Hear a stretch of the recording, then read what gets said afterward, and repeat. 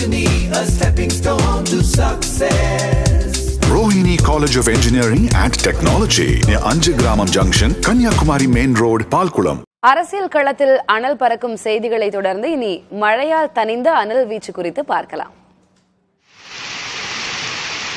சேலம் மாவட்டத்தில் எடப்பாடி மற்றும் அதன் சுற்றுப்பகுதிகளில் கனமழை பொழிந்தது ஒரு மணி நேரத்துக்கு மேல் பொழிந்த மழை அப்பகுதி முழுவதும் குளுமையை பரப்பியது கோடை வெயிலின் தாக்கம் தணிந்ததால் பொதுமக்கள் மகிழ்ச்சியடைந்தனர். நீலகிரி மாவட்டத்தில் கூடலூர் சுற்றுப்பகுதிகளில் அரை மணி நேரத்திற்கு மேல் மிதமான மழை பொழிந்தது. கடந்த இரண்டு நாள்களாக பரவலாக பொழிந்து வரும் மழை காரணமாக குளிர்ச்சியான காலநிலை நிலவுகிறது.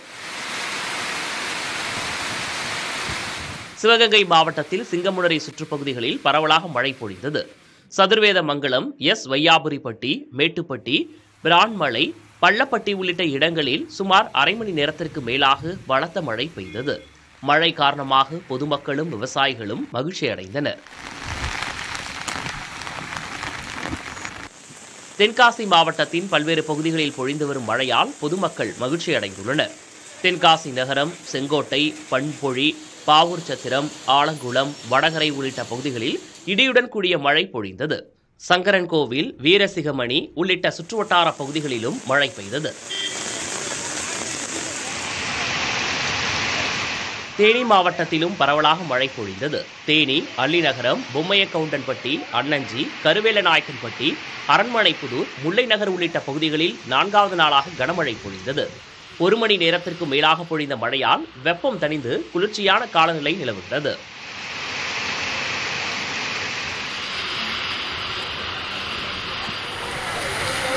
ஈரோடு மாவட்டம் சத்தியமங்கலம் அடுத்த தாளவாடி மலைப்பகுதியில் பலத்த காற்றுடன் மழை பெய்தது. சிக்கள்ளி அண்ணாநகர் இக்கலூர் தலமலை தொட்டக்காஜனூர் உள்ளிட்ட பகுதிகளில் கனமழை பெய்தது. சிறு சிறு ஓடைகளில் வெள்ளம் பெருக்கெடுத்தது விவசாயிகளை மகிழ்ச்சியில் ஆழ்த்தியது.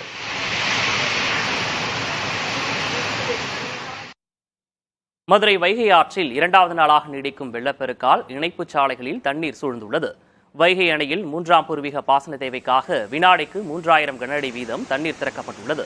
இதனால் தேனி மதுரை திண்டுக்கல் சிவகங்கை ராமநாதபுரம் உள்ளிட்ட ஐந்து மாவட்டங்களில் உள்ள வைகை ஆற்றங்கரையோர மக்களுக்கு வெள்ள அபாய எச்சரிக்கை விடுக்கப்பட்டுள்ளது.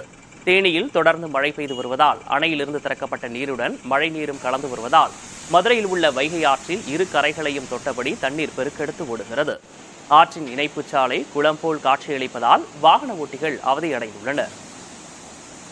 Rohini, a stepping stone to success. Rohini College of Engineering and Technology near Anjagramam Junction, Kanyakumari Main Road, Palkulam.